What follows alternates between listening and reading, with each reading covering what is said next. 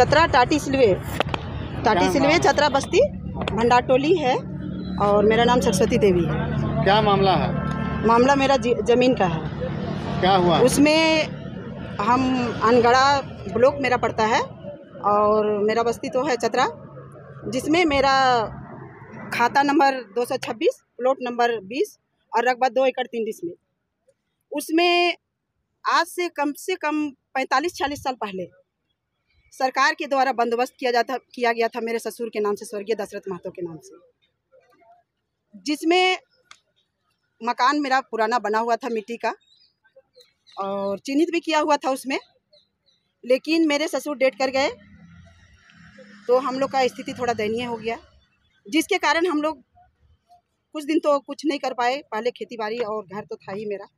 लेकिन बाद में जब हम घर बनाना शुरू, सोचे कि घर बनाएँगे नए सिरे से तो हम पुराना मकान को तोड़ेंगे तो जब हम बनाना शुरू किए तो अगल बगल के लोग, जो कि उसी ज़मीन में रह रहे हैं, दो एकड़ तीन डिसमिल में ही रह रहे हैं वो लोग भी, और इस ज़मीन में हमेशा सीईओ के द्वारा बोला जाता है कि चार पाँच आदमी के नाम बंदोबस्त है।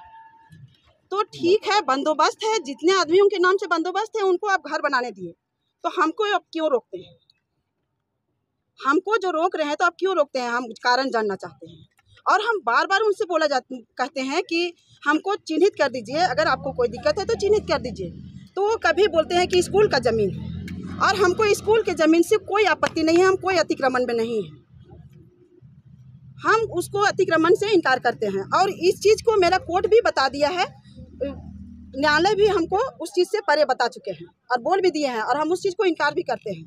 आज भी इनकार करते हैं। कि हमको उससे मतलब नहीं है। हम्म, है, है। कितना है नहीं है बस हमको तीस डिसमिल का बंदोबस्त किया गया है हमको तीस डिसमिल से मतलब है। हमको और नहीं। और हम ये भी कहते हैं कि न्यायालय एक बार ये भी देखे और सही जाँच करे कि वहाँ क्या सही और क्या गलत हो रहा है। सही चीज़ का मापी हो और मेरे साथ सही इंसाफ हो। बार बार हमको जब जब हम सोचते हैं उसमें घर बनाएँगे हम बहुत सारा उसमें पत्थर बालू ईटा गिट्टी सब गिरा के रखे हुए हैं। लेकिन वो सब आधा हो चुका। सब चोरी होते जा रहा है। इसी पर्पज से हम अपना सीसीटीवी कैमरा लगाए। हैं जिसमें हमको सीओ साहब बोल रहे हैं कि आप हटा लीजिए। तो हम क्यों हटाएँ? हम अपना जाल माल अपना परिवार और अपना प्रॉपर्टी के लिए हम कैमरा लगाए हैं घर में। जबकि हम हम सटे हुए हैं। तो हम मेरा कहना है कि जब हम घर बनाते हैं तो हमको रोक दिया जाता है और अगला को नोटिस कर दिया जाता है। जब हम काम शुरू करना चाहते हैं तो हमको नोटिस कर दिया जाता है।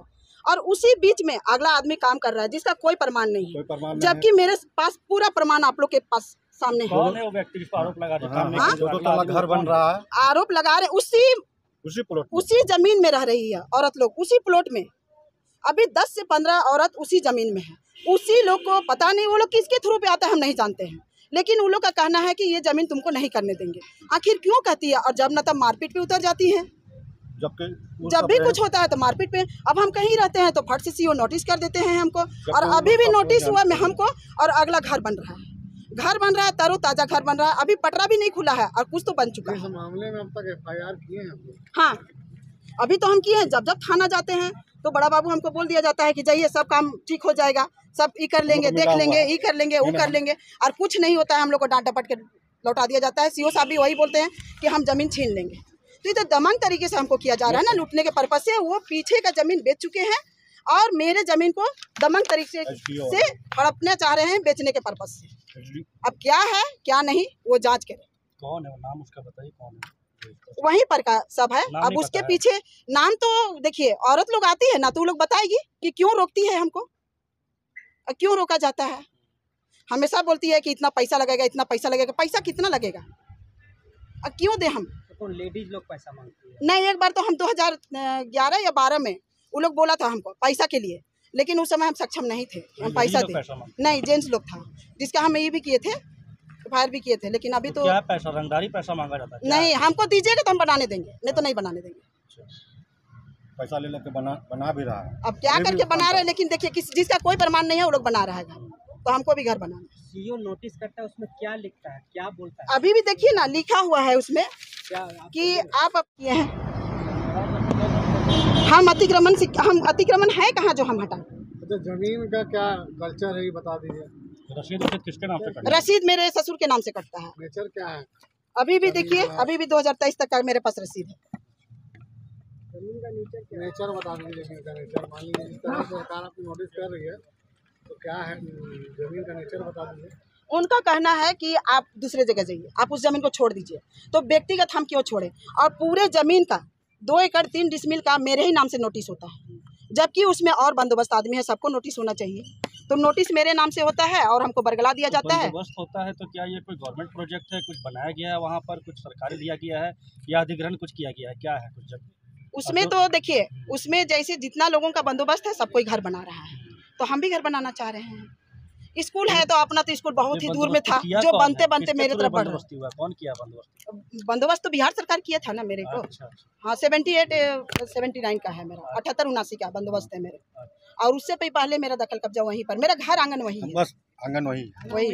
जिनका ज़मीन हाँ, सटा हुआ रहता है ना वो वो ज़मीन उनका ही होता है। कितना डिसमिल ज़मीन आपको? हम 30 मेरे नाम से तीस डिसमिल मेरे ससुर के नाम से। उनमें तीस डिसमिल भी नहीं बचा हुआ है। मात्र नहीं बचा हुआ है लेकिन तीस डिसमिल मेरे नाम से ठीक है आगे आप लोग क्या किस तरह का प्रशासन से क्या सहयोग चाहते हैं? हम लोग प्रशासन से यही सहयोग चाहते हैं कि हम लोग के साथ न्याय हो और हम लोग को मानसिक प्रताड़ना से दूर रखें।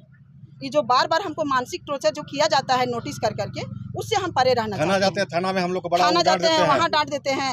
सीओ जाते हैं हैं, चतरा बस्ती बंडा टोली से रहने वाला हूँ। मेरा। मेरा नाम अमरनाथ महतो है। मैं चतरा बंडा टोली से हूँ। मेरा अनगढ़ा प्रखंड पड़ता है। मेरे को बहुत दिक्कत है। बोला जाता है कि ज़मीन सरकार जो देती है तो क्यों देती है? जिनका ज़मीन सटा हुआ रहता है उनको ज़मीन इस बात से देती है ताकि उनका ज़मीन नहीं है। घर दूरा बनाने के लिए देता है बेचने के लिए नहीं देता दिया जाता है। लेकिन अगला बेच रहा है। नाम भी हम बताएँगे। नाम बताइए। जयपाल हजाम नाम है। हम्म। जयपाल हजाम नाम है वो सरपंच है हम लोग गाँव का। एक बार नहीं तीन चार बार जीता है। बस राजनीतिक खेलता है वो।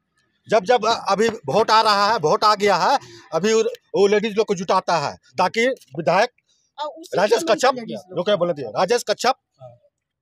ये लोग सब मिला हुआ है। अभी फ़िलहाल ये हम लोग का इस छोटा सा मामला को न्यायालय में अथी में क्या बोलते हैं? विधानसभा। विधानसभा में बुला गया है। उस रोज बहुत खुश थे मीठा उठा खा रहे थे कि मेरा काम हो गया। आज से नहीं हमको लगता है पंद्रह बीस साल से लगे हुए हैं जब जब हम माल गिराते हैं जबकि उस ज़मीन में हम लोग कुछ नहीं करते हैं खाली मटेरियल गिराते हैं मटेरियल भी गिराने नहीं देता है थाना वाला के उल्टा हम ही लोग को धमकी देते हैं जबकि मेरा कागज़ देखिए सब कागज़ है स्कूल का ज़मीन निकाले हैं स्कूल का ज़मीन छः डिसमिल बताता है इधर ज़ीरो बैठा के ज़ीरो बंडा पर्चा है कुछ ज़मीन का पेपर ऊपर नहीं है